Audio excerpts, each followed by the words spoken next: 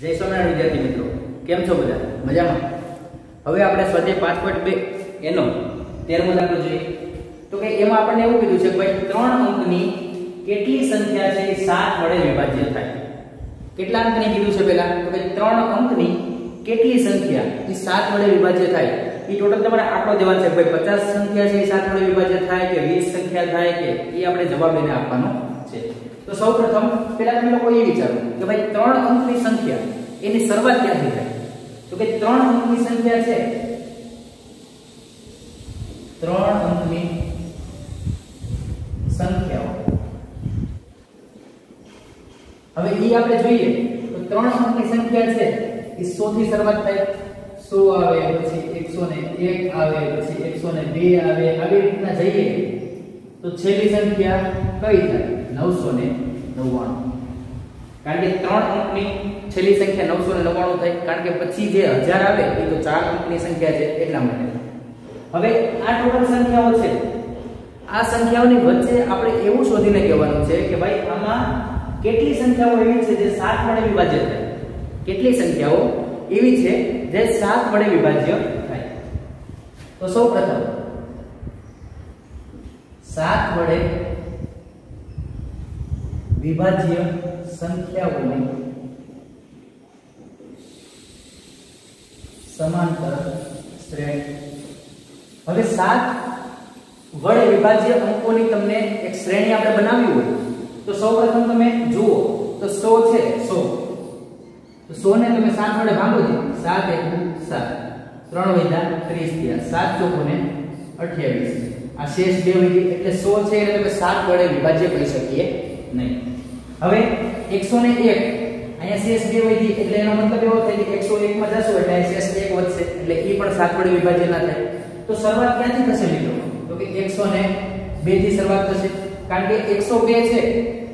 હવે 102 એને તમે 7 વડે ભાંગી આપણે તો 7 એકુ 7 3 વૈધા 32 થયા. હવે, તો 7 ચોકુને 28 આમાં પણ ચાર લીધા, એટલે આ પણ છે એ સાત વડે વિભાજ્ય કહેવાશે નહીં. તો આવી રીતે આપણે જશે તો તમને લોકોને ખ્યાલ હશે કે ભાઈ સાત વડે વિભાજ્ય સંખ્યા આપણે ગોતવી હોય તો 7 નો ઘડિયો બોલવાનો, બીજું કઈ નહીં કહેવાનું. કેટલાનો ઘડિયો બોલવાનો? 7 નો ઘડિયો તો દસ સત્તા 70 છે, પરંતુ એ તો બે અંકની સંખ્યા છે. હવે આપણે ત્રણ અંકની સંખ્યા માટે આગળ જે વધતા જાવ તો અગિયાર સત્તા 77 12 સત્તા ને 84 13 સત્તા ને 91 14 સત્તા 98 15 સત્તા ને 105 તો સૌપ્રથમ જે સંખ્યા આવશે એ કઈ આવશે? 105 પછી 16 સત્તા, એટલે કે 112 હવે તમને પણ ખ્યાલ આવી જાય કે આમાં તમે જો 7 ઉમેરી દો, આમાં તમે 7 ઉમેરી દો, એટલે એ સંખ્યા છે આપણી નેક્સ્ટ 7 વડે વિભાજ્ય સંખ્યા થાય. હવે આવી રીતના આગળ વધીએ. તો છેલ્લી સંખ્યા છે 999 એ 7 વડે વિભાજ્ય છે કે નહીં? એ આપણે પહેલા ચકાસી લઈએ. તો 999 તમે 7 વડે ભાગો, તો 7 1 7 બે વૈદા ઓગણત્રીસ થયા 7 ચોકુને 28 એક વૈદા ઓગણીસ થયા 7 દુને 14 શેષ 5 વૈધી શેષ પાંચ વધે છે એટલે એનો મતલબ એવો કે 999 ની આ બાજુ આપણે આવવું પડશે. માની લો કે અહીંયા આપણે 995 લઈએ. તો 995 લ્યો તમે. તો સાત એકુ સાત, બે વૈદા ઓગણત્રીસ થયા, સાત ચોક 28 એક વૈદા પંદર થયા, સાત ગુણે ચૌદ. આમાં પણ શેષ એક વધે છે. તો એનો મતલબ એવો થાય કે અહીંયા 995 ની જગ્યાએ આપણે કેટલા લઈએ? તો ભાઈ 994 લઈએ. તો અહીંયા ચૌદ થશે. સાત દુને ચૌદ. અહીંયા શેષ જીરો આવી જાય. એટલે કે છેલ્લી એવી સંખ્યા ઈ છે કે ભાઈ 994 જે સાત વડે વિભાજ્ય છે. તો છેલ્લી સંખ્યા કઈ આવશે મિત્રો? 994 હવે આ સમાંતર શ્રેણી આપણને મળી ગઈ જેમાં પ્રથમ પદ છે એ કેટલું છે? 105 સામાન્ય તફાવત. એટલે કે સામાન્ય તફાવત બીજા પદમાંથી તમે પ્રથમ પદ બાદ કરો એટલે આપણને સામાન્ય તફાવત મળી જાય પછી આ શ્રેણી કેવી છે? તો કે આ શાંત સમાંતર શ્રેણી છે. જેમાં આપણને છેલ્લું પદ છે એ આપણને મળી ગયું તો ભાઈ, સાત વડે વિભાજ્ય છેલ્લી સંખ્યા કઈ છે? 994 આ સમાંતર શ્રેણીની વચ્ચે ટોટલ કેટલી સંખ્યાઓ છે? તમારે આંકડો કહેવાનો છે. એ કેટલી સંખ્યાઓ છે? કેટલી સંખ્યાઓ છે? જે સાત વડે વિભાજ્ય થાય. તો હવે, આપણે પહેલા આની ઉપરથી એ બરાબર પ્રથમ પદ થાય એટલે કે એ બરાબર 105 જેની કિંમત આપણને આની ઉપરથી મળી જાય. હવે સામાન્ય તફાવત ગોતવું હોય તો d બરાબર. 112 105 બરાબર 7 હવે 994 છે, તો આને શું કહેવાય? તો કે શ્રેણીનું અંતિમ પદ આપણને આપેલું હોય તો હંમેશા એને કયું પદ કહેવાય? n નું પદ કહેવાય. કયું પદ કહેવાય? n નું પદ. જે છે 994 હવે તમારે પદોની સંખ્યા ગોતવી છે. તમને ત્રણ વસ્તુ આપેલી છે. એ એન આપેલા છે. એ આપેલો છે અને ડી આપેલો છે. અને એન ગોતવાનો કીધો. તમારે એ વસ્તુ વિચારવાની કે કઈ વસ્તુ તમને આપેલી છે અને કઈ વસ્તુ તમારે મેળવવાની છે. એટલે એની ઉપરથી તમને લોકોને આઈડિયા આવી જશે કે કયું સૂત્ર આપણે વાપરવું. તો કે આ ત્રણેય વસ્તુ તમને આપેલી છે અને તમારી પાસે n ની કિંમત માંગેલી છે. એટલે તમને લોકોને ખ્યાલ આવી જાય ભાઈ આપણે સૂત્ર કયું વાપરવાનું છે? તો કે એ એન વાળું. તો an a n 1 into d. જ્યાં an ની કિંમત કેટલી છે મિત્રો? તો કે 994 બરાબર.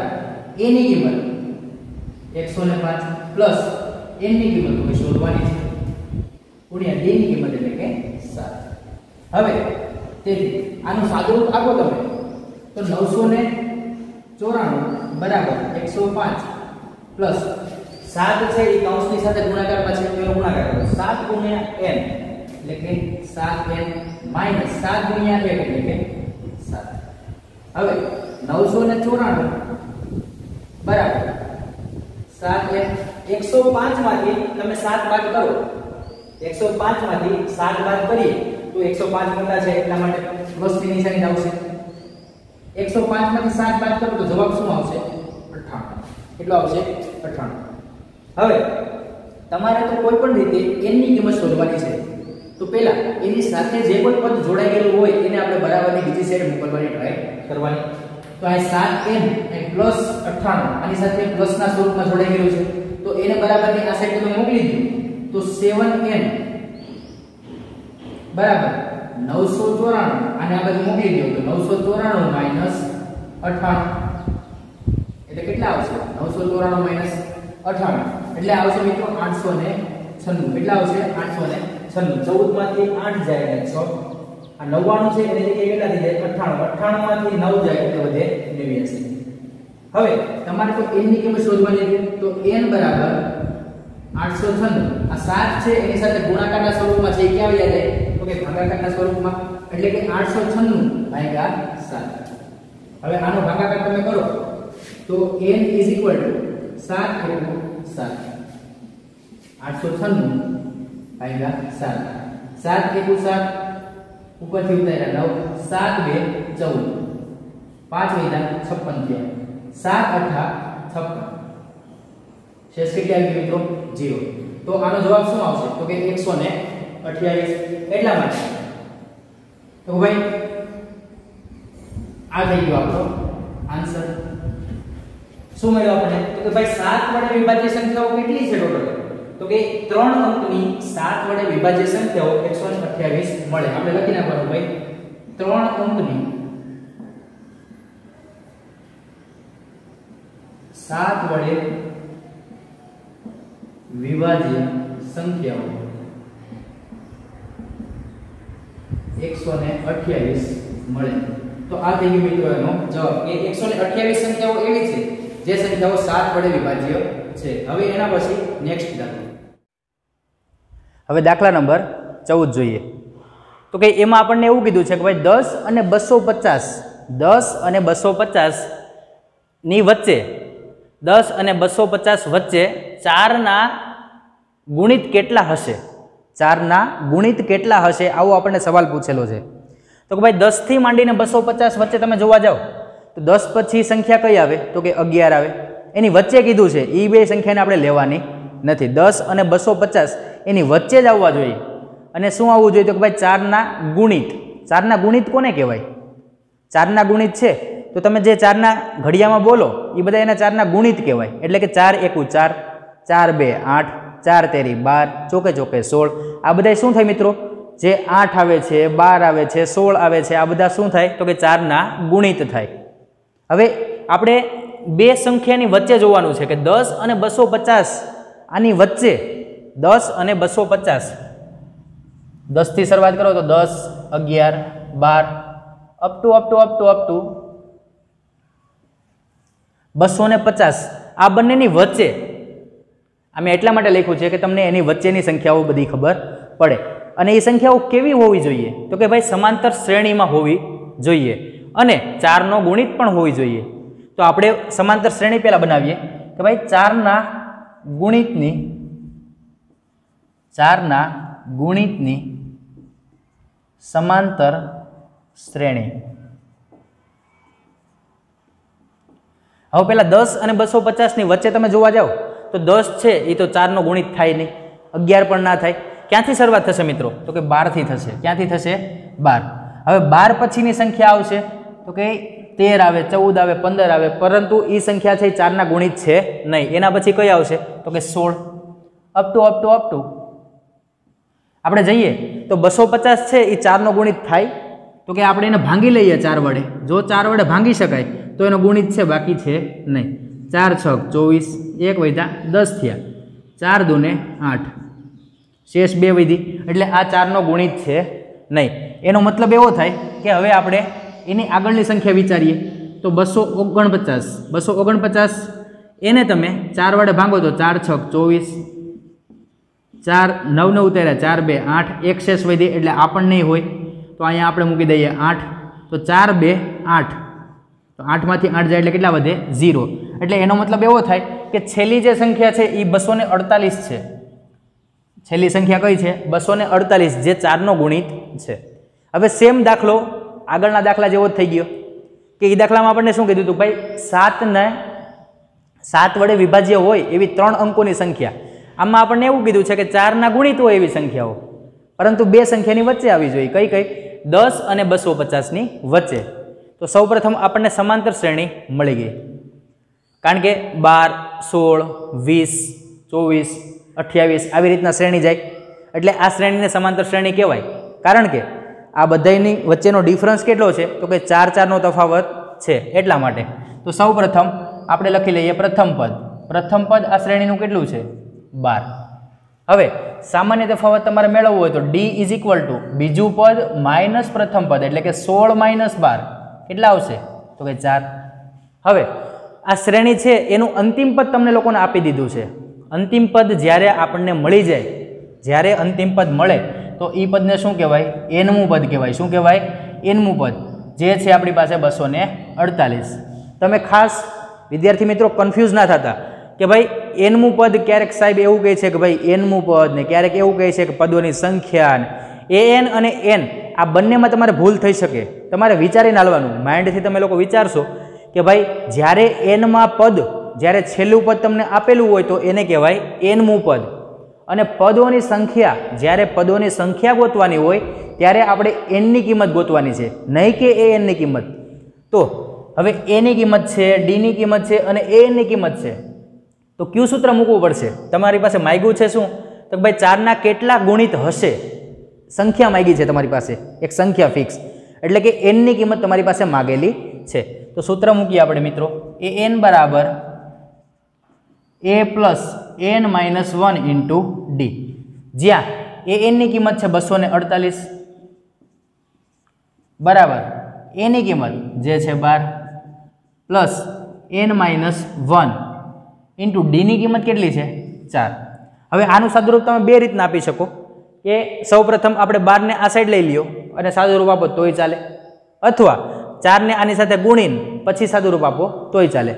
ગયા ગયા દાખલામાં આપણે આને ચારને અહીંયા ગુણીને, ટૂંકમાં એમાં સાત હતા, સાતને ગુણીને પછી આપણે એનું સાદુરૂપ આપ્યું હતું.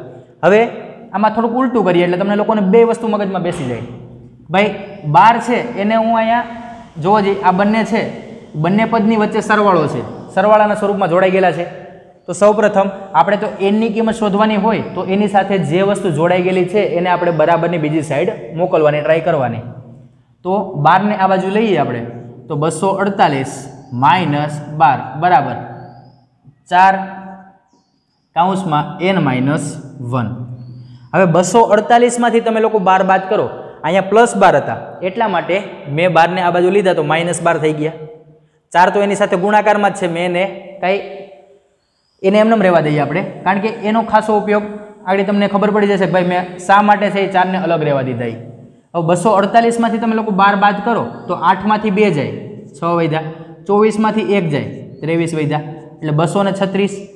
બરાબર, ચાર કાઉન્સમાં એન માઇનસ વન. હવે તમારે તો કોઈ પણ રીતે એનની કિંમત શોધવાની છે. તો આ કાઉન્સની સાથે આ ચાર છે ગુણાકારના સ્વરૂપમાં છે, એને જવા દો છેદમાં.